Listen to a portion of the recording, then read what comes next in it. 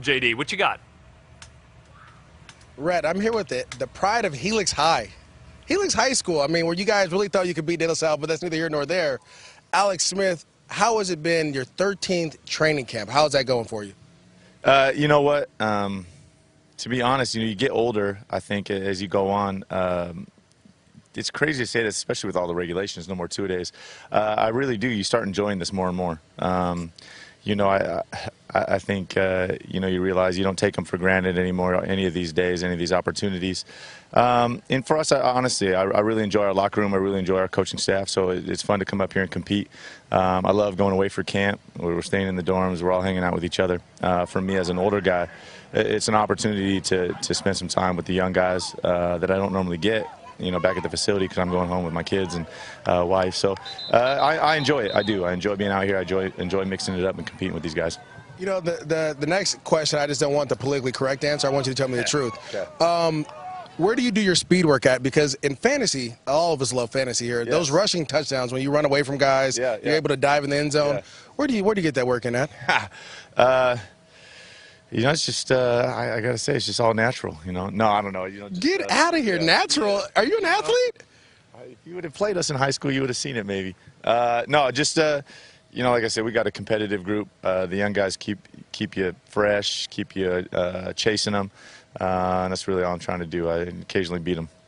Well, this offense, right? Everyone, you know, talking about so many different things. Tyreek Hill, you have Spencer Ware, you have Travis Kelce. What are the expectations for this offense coming forward? I mean, last year you guys did some really good things. How can you improve on those? Yeah, I mean, I think two things. Uh, for one, um, you know, for us, obviously, it's just about getting the job done. I think we take a lot of pride in having a lot of guys that can beat you, being able to beat you in a lot of different ways, right? Uh, a ton of different personnel groups, spread it out, bring it in uh, run pass, all, all those things. I, I, think we take a lot of pride in that as an offensive unit. Um, you know, and then I think consistency, right? You got to do it on a consistent basis. Um, and I think those go hand in hand because I think when you when you have more weapons and the more ways you can get things done, I think uh, when, when, you do stumble or, or, or, face adversity, I mean you're able to uh, you're able to get to something else, find a new way. Uh, so really, I think that's kind of our identity, and just uh, kind of continuing to, to work on it and build on it. Well, I, you're not supposed to. I'm not supposed to be a fan of teams, but I am a Raiders fan. You guys kind of whooped up on them a little bit. You guys kind of run this AFC West division. It's probably the toughest uh, in yeah, football now, yeah. right? How do you how do you stay on top of it? You know, to be honest, I, yeah. I mean, I think uh, no question. Last year, obviously, I think came out came out the better team in, in the division, and and uh, but you look back at all those games and how close all of them are. Uh, I, I do think there is a strong sense of pride within the AFC West from every team with the competition, about the depth of our division. I think we all take a lot of pride in, in, in the, that it is the best division in football. Uh, every single matchup is its own unique rivalry uh, that goes back a long way. That is that is uh, incredibly intense. Uh, the margin of error from top to bottom, I think, uh, is so small. So yeah, I mean, I think it, there's a lot of pride there to, to win it, um, and, and, certainly that's the mindset for us. But but really, obviously, nothing, no one's going to give us anything based off last year. So uh, you got to start over. Everybody's going to be gunning for us. Last question here, and this is really the most important one. What do you eat on Junk Food Fridays? uh, the, the Junk Food Fridays have changed a little bit. It definitely cleaned up uh, from especially the, the, stories I heard back in the day. But um, usually there's a little pizza there. Uh, you know, that's kind of the go-to. No, no, like barbecue, no In-N-Out burger, no. We, I mean, there's some barbecue always around in Kansas City, so that's always close at hand. But uh, no In-N-Out in KC, man. Well, so you got to tell, because this is what I came here for. I mean, you, are cool and everything, but yeah. I really came here for junk food Fridays. Barbecue, Monday. man, barbecue. Uh, there's a there's a lot of them. What should take I get and where should I go? Take your pick. Uh, you got to go to Burnt Ends, man. It's Kansas City. What is what is a burnt end? I don't know what that is. Uh, I'm not an expert on this, but it is a part of the rib. Uh, it's a burnt end of the the rib. Uh, yeah, there's a lot of them, man. Everybody has their favorite. Uh, I would say go to Joe's or Q39, man. Those are my two spots. Rhett, I, I, think I'll be seeing you there tonight. Burn ends. It's pretty good. God, would you quit talking about food? I got three more hours on set here, man, before we can get lunch. Making me hungry. All right, Maurice Jones-Drew. I can't help it. It's Chiefs. Kansas City. I no, look, I'm I'm with you. I'm with you, buddy. Uh, Great stuff there with uh, Alex Smith. Uh, thanks very much. We're going to stick right here in the AFC West and uh, talk about a team here and head out west to Costa Mesa, California, a team that has their sights set on challenging the Chiefs for the AFC West crown in 2017. Our Alex Flanagan is with the Los Angeles Chargers uh, as they begin a new era there in LA in Orange County, really right now in Costa Mesa, California, the site of their training camp this year. And uh, Alex, uh, Philip Rivers' first practice in the books as a member of the Los Angeles Chargers. What was his reaction to day one? Yeah, Rhett, an exciting day out here. First of all, I know MJD, I think, is coming here maybe at the end of the week, and they have a lot of food trucks lined up, so he's going to be excited. But last time I worked with him, he told me he was going vegan, so I don't know what all this barbecue talk is about, so you're going to have to get with him on that. Yeah, I think As that lasted Philip about an Rivers, hour. Um, I think that, yeah. Yeah, right. the vegan stuff's gone.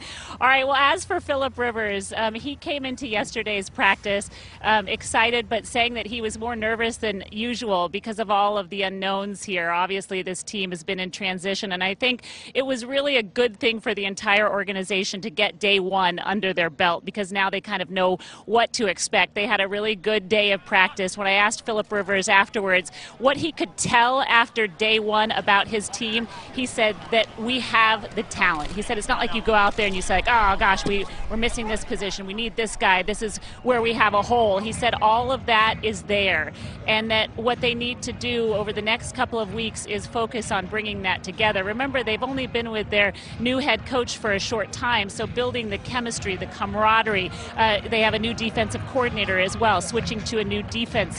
So I think there's a lot of those nuances that they're working on. And I liked what Alex Smith just said because Philip Rivers, I think, kind of is saying the same thing that he is excited to be here at training camp and he's really excited to be staying in a hotel with these players, something he usually doesn't do. He usually stays at home with his eight children which he says can be kind of a distraction at times. So being able to spend time and get to know these young guys, building that camaraderie and that chemistry is what these next few weeks are about for the Los Angeles Chargers.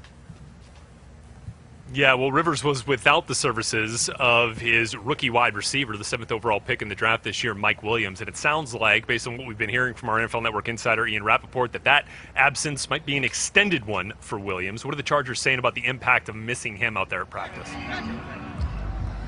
Yeah, I think it's interesting. I mean, keep in mind that it's hard to miss something that you never had, right? So Philip Rivers has yet to throw a single pass to Mike Williams, and he said yesterday, obviously, when you draft somebody seventh overall, it's disappointing not to have them here. But Rivers saying it's not like he was a draft pick where you kind of said we have to have this guy this year to make things happen. A little bit different than maybe Joey Bosa last year, where the Chargers drafted him in the first round, and he was absolutely a huge part, a piece of their puzzle from the moment that he was drafted. You knew he was going to be plugged into that defense and that he was expected to be an impact player. I think that they, the Chargers have some depth at wide receiver, and I think that's a good thing. Obviously, having Mike Williams there, especially in the red zone, would have been a great thing for Philip Rivers. And I think we still don't know exactly when he's going to come back, but I think Ian is right. It's a herniated disc. Right now, he's rehabbing it. I think they're going to have to wait until it's uh, asymptomatic, really, and who who knows when that will be. And if that doesn't happen, then that would be when they would look at surgery. But I certainly think, Rhett, there's the potential for him to possibly miss part of the season. Some people saying all of it, just depending on how his back responds, really. We did see him working out yesterday. We did see him catching some balls uh, from the jug machine. But uh, let me say this I think a couple of those wide receivers could benefit from him not practicing, especially Tyrell Williams, yeah. who really last year went over a 1,000 yards, had a, a ton of receiving yards for this team, and is really as poised poised to kind of continue what he had last year with a bit of a breakout. Don't forget the tight end Hunter Henry. We're going to watch him today. He's a stud, and yeah. I'm expecting he's going to have a breakout year too and old reliable Antonio Gates still hanging around. Yes. So uh, yeah, uh, still still plenty of targets out there for Philip Rivers. Alex Flanagan live for us there in Costa Mesa, California. Going to look forward to seeing more from Philip Rivers tomorrow with our Steve Mariucci as he joins the GMFB crew, 7 a.m. Eastern Time. Our coach going one on one with the LA Chargers QB just a couple of days into training camp there in Costa. We're with a look at where our uh, Ian Rapoport has been uh, running around during training camp, apparently on his prop plane, uh, which is cool. Um, it's true. Yep. Ian is now in Allen Park, Michigan, with the Detroit Lions. Um, and uh, Ian, uh, you know the the Lions made Glover Quinn a big free agent acquisition acquisition a few years ago from the Houston Texans, and uh, they're a pretty big fan of the production they've gotten, and now they want to keep him around. Yeah, one of the more uh, productive defensive players. Rhett just signed him yesterday to a two-year extension. Pays him $13 million, a lot up front. He gets $9.5 million guaranteed. And you know, Rhett, it's not one of those mm. huge, high profile deals like Xavier Rhodes got yesterday.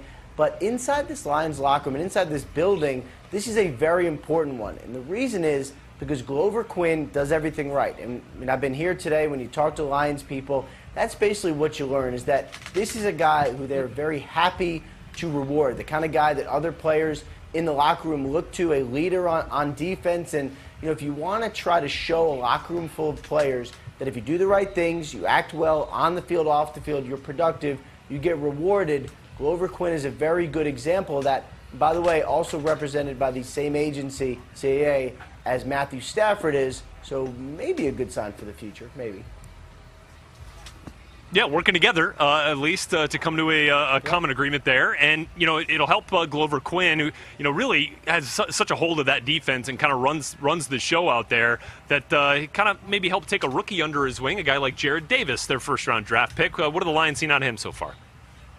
Yeah, that's a great point. And the Lions really like what they have seen from Jarrad Davis, and obviously they're just a couple practices in. But the best thing about Jarrad Davis and you know, you know, you never know what you get from a draft pick until they get in the building. They had the character reports on Davis. They were very, very good. All his marks were high pre-draft. He's a high character type of guy, and he has been that and more in the building as far as learning, as far as uh, trying to understand what what they're doing, as far as work ethic. You know, this is the guy they really hope is the face of their defense for the next 10 or 12 or more years. And if you're looking for a comparison as far as what kind of player Jarrad Davis is, the Patriots had Jerod Mayo for 10 years. He was their mm. linchpin defensively. He was their brains of their defense. And Bill Belichick and the Patriots, I know, thought Jarrad Davis was similar. Obviously, never had a chance to take him. Well, that is exactly what the Lions hope they have in their first rounder from Florida. Yeah, Bob Quinn, uh, obviously there with the Patriots uh, when uh, Jerod Mayo was the uh, stalwart of that defense. Uh, all right, Ian, uh, let's move from Allen Park, Michigan, out to Costa Mesa, California, where the Chargers were really excited to get their first round draft pick, the seventh overall pick. Mike Williams on the field, but it sounds like Ian that he is. Oh, hey, Greg Rosenthal's there with us as well. But let's uh, let's stick there with uh, Ian. We'll come back to Greg here in a moment. And and Ian, Sorry, some bad news about that first round draft pick, Mike Williams. Uh, what more can you tell us? Yeah, and the Chargers discussed this publicly yesterday that Mike Williams back, which is something they believe is improving and certainly see the light at the end of the tunnel here, but it is not going to allow him to practice at least during training camp. So that is going to be several weeks for Mike Williams. He's done the rest part of it, he has stayed off his back, his, this herniated disc that he's been dealing with since actually rookie minicamp and OTAs. Now it's all about rehab. They do not believe that surgery is something that is in his future. They believe it is going to heal non surgically. And Dr. Robert Watkins, who has been working with Williams, he believes that as well. It is just a timing uh, matter now. And does he have enough time to be ready for the regular season, or is this someone who might have to miss a couple games? Wow. Uh, all right. Uh, that's some unfortunate news there for the Los Angeles Chargers. And uh, our Greg Rosenthal just couldn't wait for his close up here at Inside Training Camp Live. Had to pop up uh, a little bit early. Uh, but uh, Greg, let's let's bring you back in here for a second because safe to say that Mike Williams will not be a part of the Making the Leap series this year, maybe next year. But that that an unfortunate development there for the Chargers as they were hoping to have his big play potential. It is absolutely a big loss. You lose a top 10 right. pick. But I don't think they're going to miss Mike Williams. I know that sounds crazy, but it was going to be tough for Mike Williams to break into this receiver group. That is how young, deep, and talented the receivers are that Philip Rivers is throwing to. Think about the players that he has Keenan Allen, 25 and under. Tyrell Williams, who had as many plays over 40 yards last season as any wide receiver in football.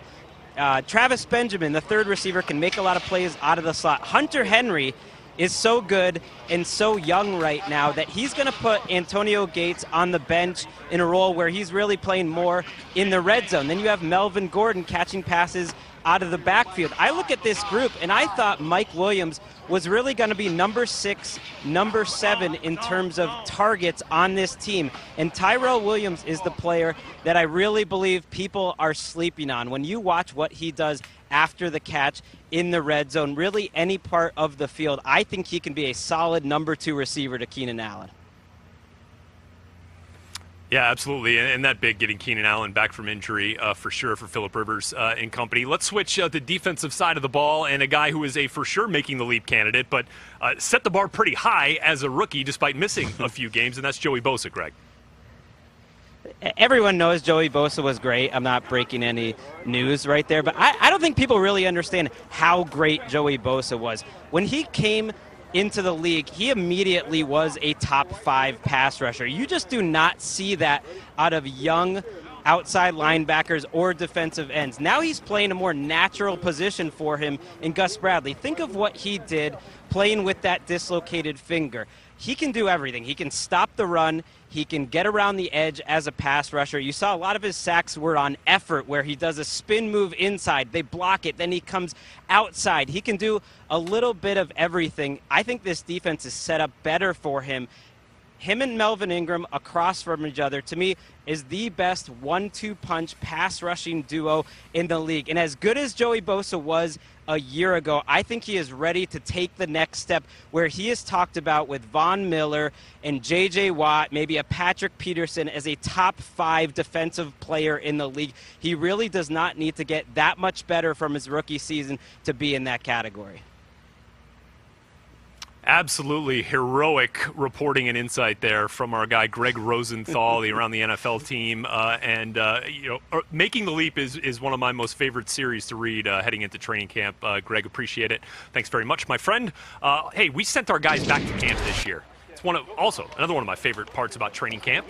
Steve Smith, our guy, our Steve Smith Sr. just retired from the Ravens, joined our team, decided to go back to camp with the Baltimore Ravens, and you're gonna Catch that tonight on Training Camp Prime Time, 8 p.m. Eastern Time, right here on NFL Network.